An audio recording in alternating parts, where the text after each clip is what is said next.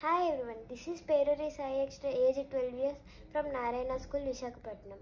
I would thank Wizkids Carnival for giving me this opportunity. I love camping a lot, mostly winter to mountains. So I have chosen the theme camping, camping in winter season with friends and families. So I have drawn this painting. The specialty of this painting is I have drawn most of the things with blue and red combinations and blue and red and I have uh, took a canvas of 12 into 16 so the sky I have drawn with blue and red combination blue red and white combination. The mountain also blue red and this aurora with teal green, teal blue. Then I have drawn a family enjoying camping.